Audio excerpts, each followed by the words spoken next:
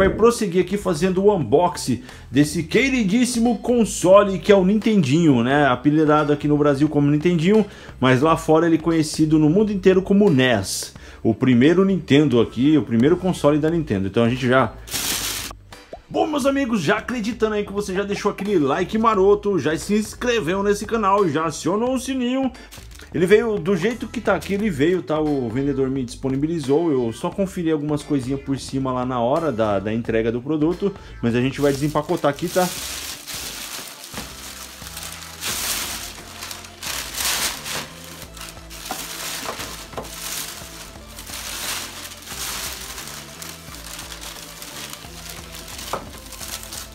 deixar uns bonequinhos que eu deixei para enfeitar aqui no final do Mario, do Luigi, do Yoshi de lado.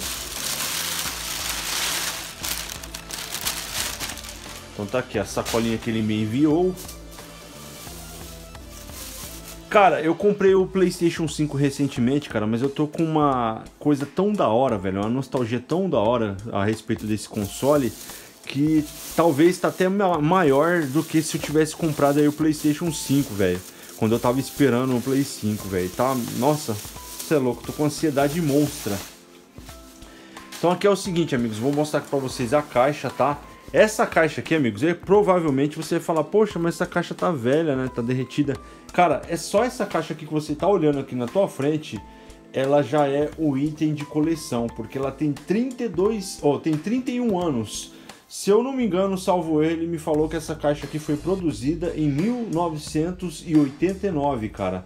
Então, se ela não tem 31 anos, ela vai fazer. É uma caixa original e essa caixa aqui, se eu não me engano, ela é versão da Nintendo uh, do Brasil, né? Criada aí pela Playtronic, né? Quem não sabe, a Nintendo, ela tinha, acho que se eu não me engano, é, parcerias aí aqui no Brasil com algumas fabricantes. É, se eu não me engano, com a Gradiente, salvo erro, tá? Me perdoem aí se eu estiver errado porque eu era criança, não lembro de tudo esses detalhes, mas se eu não me engano, acho que era Gradiente, a Playtronic.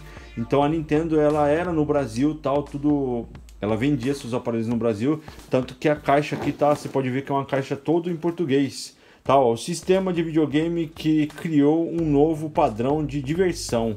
Aí aqui essa caixa que ela vem originalmente aqui com uma fita, né, um cartucho aqui do Super Mario é, 3, né, uma Super Mario Bros 3. É, infelizmente é, essa caixa aqui não é a caixa original dele, né, porque ele é um, é um console americano, mas é, tá incluso aqui nesse item, cara, essa caixa aqui muito da hora, velho.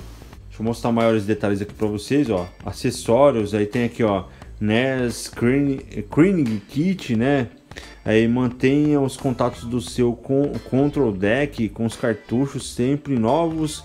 Acho que é para limpar, né? Um kit de limpeza. Aí vem aqui o NES Advance, Advance, né?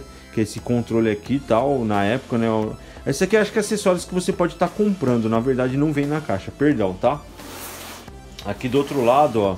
A gente tem aqui alguns jogos, né? Que sempre eles vêm com alguns jogos. Está escrito aqui, ó. Ação, aventura e diversão tudo isto faz parte das inúmeras opções games para NES. E aqui tem algumas fotos de alguns jogos, ó. Tem Metroid Classic, temos acho que Zoda's Revenge e Super Mario Bros 2, ó, tá ligado? Muito da hora, caixa em português, velho. Isso aqui é uma relíquia. Isso aqui eu, eu nem vou ficar virando muito ela, cara, que ela já vai direto pra, pra guardar. Eu vou deixar ela dentro de uma sacola porque isso aqui é uma raridade. Só uma caixa dessa aqui, se eu não me engano, ele me disse que pagou 150 reais nessa caixa aqui, velho. Entendeu? Para depois passar por mim por penchincha, né? Coitado, né? Mas estamos junto aí, valeu mesmo. Isso aqui vai, eu vou guardar com muito carinho, tá?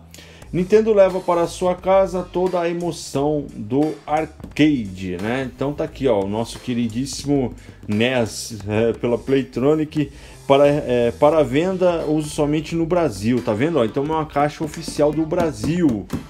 Quem disse que a Nintendo nunca foi instalada aqui no nosso Brasil, né? Então vamos abrir aqui, amigos, o... Nossa, cara, que nostalgia, velho. Meu primeiro console, meu primeiro contato com console, velho. Vou tirar logo de cara aqui ele, tá, ó. Tirei ele de ponta cabeça, vou deixar do lado, tá? Vou deixar ele de lado aqui pra gente ver depois. Aí vamos ver o que tem mais dentro dessa caixa. Um obrigado aí pro vendedor de coração, cara, que deixou tudo embaladinho aqui dentro de um plástico. É, não temos mais nada dentro da caixa, então a gente já vai guardar ela bem isolada. Pode ver que ela tá bem amareladinha, né? É papelão mesmo, tá vendo? Papelão de qualidade. Vamos deixar ela bem é, guardadinha, isolada aqui. Ela não fecha mais, tá? Ela perdeu aqui os fechos com os anos, né? Imagina uma caixa, cara, com 31 anos guardada. Então a gente tem que ter muito carinho com ela, velho. Isso aqui, isso é louco. Isso aqui é um pergaminho daquele pássaro dourado do Jasper, né? Então a gente tem que guardar ela. Vou deixar ela de lado aqui para não ficar manuseando. Então tá aqui. Vamos começar aqui com, com os acessórios primeiramente, né? Ó, ele me mandou essa fita amarela, não é fita original dele, tá? Essa fita amarela ele me cedeu de brinde. Ele me deu um desconto também no aparelho e me deu essa fita de brinde. Mais uma vez, muito obrigado, meu amigo. Deixou tudo muito bem embalado. Ele é bem profissional, tá? No vídeo da caçada eu falei dele. Se você quiser comprar jogos, games retrôs, você dá uma olhadinha no vídeo passado aí que eu fiz da caçada, que eu fui atrás lá da estação. Nem, né, a gente nem bota muita fé que vai dar certo, mas ele tava lá pontualmente esperando. Então tá aqui, ó. Vamos tirar aqui primeiro a fonte eu não sei se todos os itens são originais, viu, amigos? Mas é, essa fonte aqui, se for dele, tá muito conservada. Provavelmente não é dele mais, né? Mas, ó, temos aqui uma fonte para ligar ele. Tá vendo, ó? Não sei se é a fonte dele, tá? Se você souber como que é a fonte do Nintendinho aí, por favor me fale. Porque veio essa fonte, ela é bivolt, tá? 110 e 220. Creio eu que não é, né? Porque não tem nada da Nintendo aqui, mas tudo bem, né? É, esse videogame aqui, pelo ano que ele foi fabricado, é difícil até mesmo achar controle para ele. Imagina a fonte, né? Aqui temos um cabo, acho que de antena, tá? Ele é ligado no RF, aquela antiga conexão de antena. Então ele dá, o vídeo dele é reproduzido aí por, por antena, mas ele, a gente consegue ligar ele também pelo áudio e vídeo, que ele tem a entrada de áudio e a entrada de vídeo. Aqui temos uma, um cartucho para ele, né? Que é o cartucho original que eu falei para vocês. Mano, esse cartucho aqui tá muito conservado, cara. Nossa, que perfeição, velho. Olha os parafusos como que eram na época, tá vendo? Ó?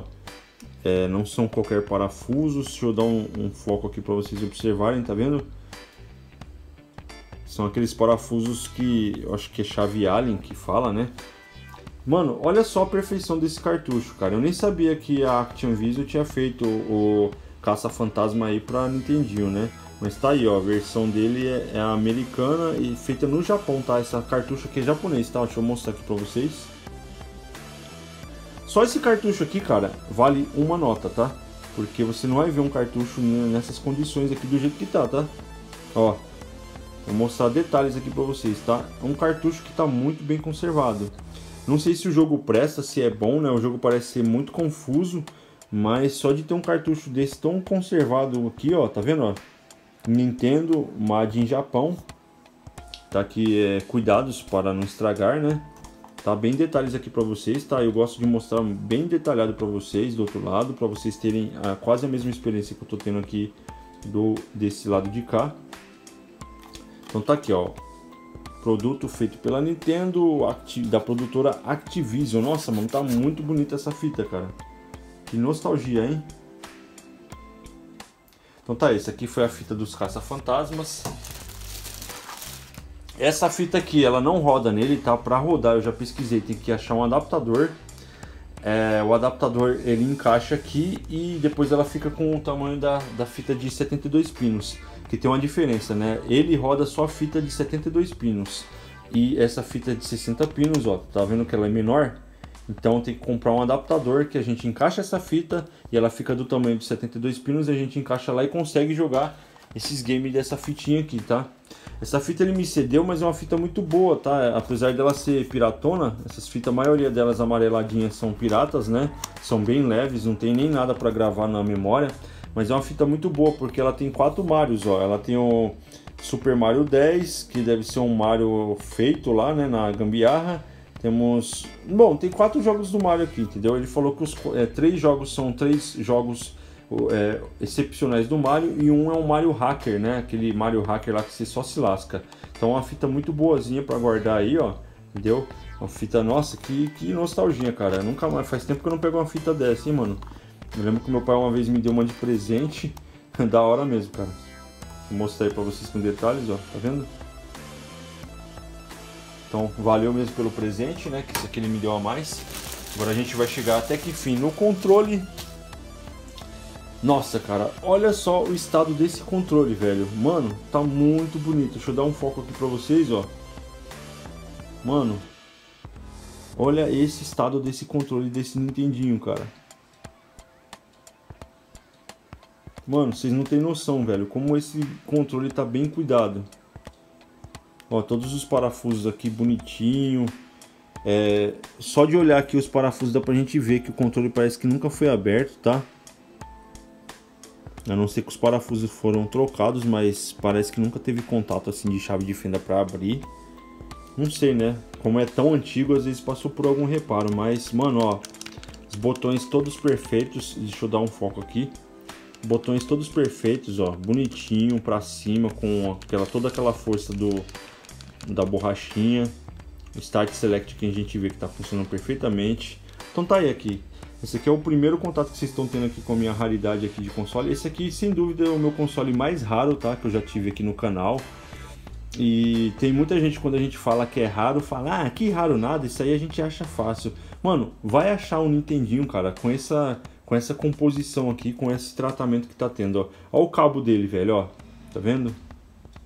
Ó, o pino de a gente encaixar. Eu pensava, pra vocês terem ideia, eu pensava que o pino dele de encaixe era igual do, do Dynavision, desses videogames que a gente teve aqui de é, clones de Nintendinho, né? Que a gente teve aqui no Brasil. Mas o encaixe não, o encaixe dele é completamente diferente, ó. Uma coisa bem robusta, reforçada, tá vendo? Ó? Tudo escrito Nintendo bonito, ó. Console originalzão aí.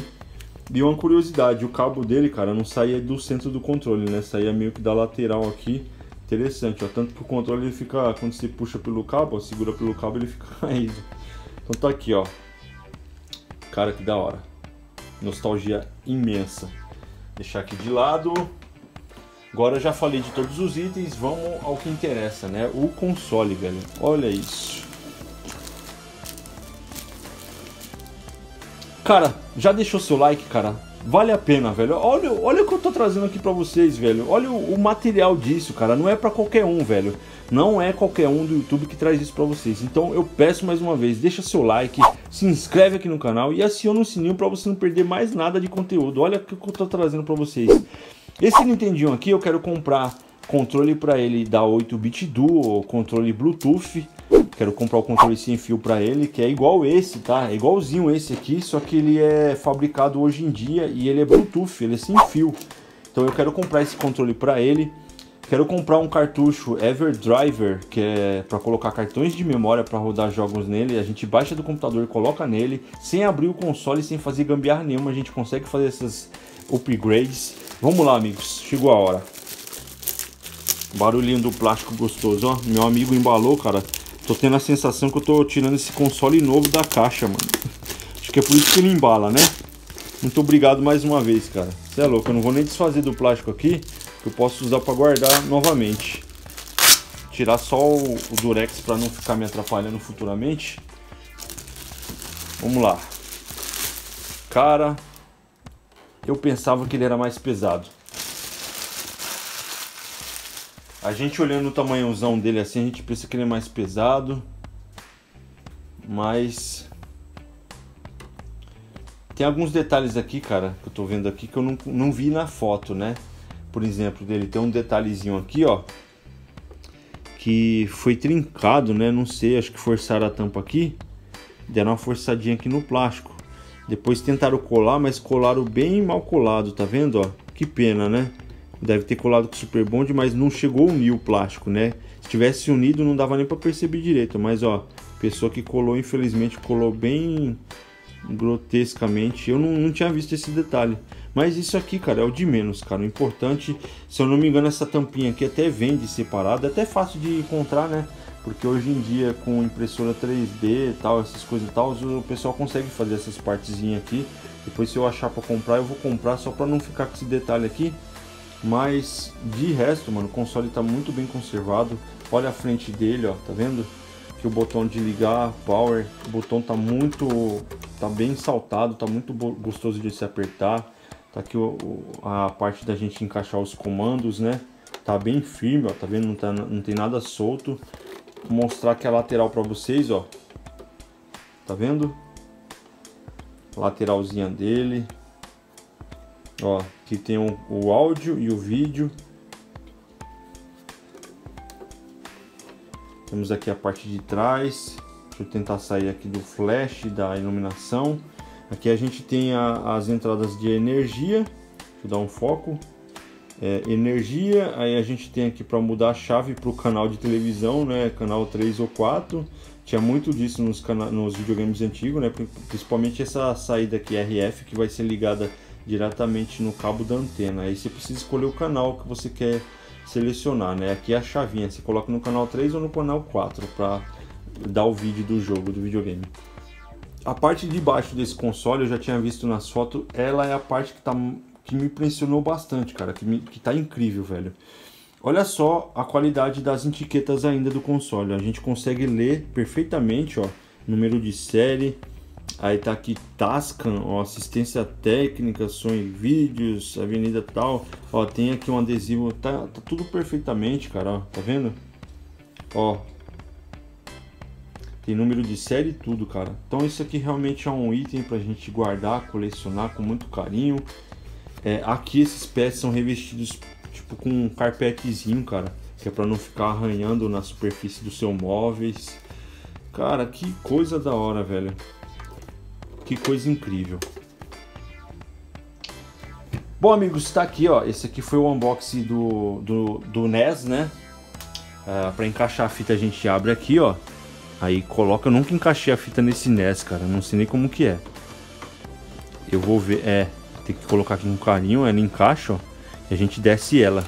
Pronto, aí fecha e dá o power que já liga. Cara, eu vou fazer o seguinte, ó eu vou deixar para a gente trazer no próximo vídeo, tá? Que os vídeos vão ficando estendidos, né? A gente vai mostrando detalhes por detalhes, mas eu vou deixar para trazer para vocês aqui o próximo vídeo ligando aqui o, o, NES, né? Vamos ver se tem alguma coisa estranha, errada acontecendo com ele, vamos ver se vai ligar mesmo, né? Pra gente matar nossa curiosidade. E é isso aí, cara. Se inscreve no canal, aciona o sininho para você não perder os próximos vídeos. Eu vou trazer aqui, a gente vai jogar aqui com o NES, com esse controle magnífico dele, tão cheio de botões, né? e a gente vai fazer esse teste aqui juntos, tá bom? Vou ficando por aqui, espero que vocês tenham gostado dessa caçadinha aqui, ó. Isso aqui é um item raro, né? Todo mundo que acha, né? Todo mundo que tem coragem de ir atrás de um aparelho desse tá aqui com a gente agora, tá? Pra mim é uma... Meu, é um túnel do tempo tá mexendo com esse aparelho aqui, tendo contato com ele, tá bom? Espero que vocês tenham gostado. O vídeo ficou um pouco longo, trouxe para vocês com bastante detalhes. Até o próximo vídeo. Um abração a todos. Próximo vídeo a gente vai ligar, vai testar, vai jogar esse caça-fantasmas aqui. E tamo junto. Um abração a todos, Landerman XD. Fui!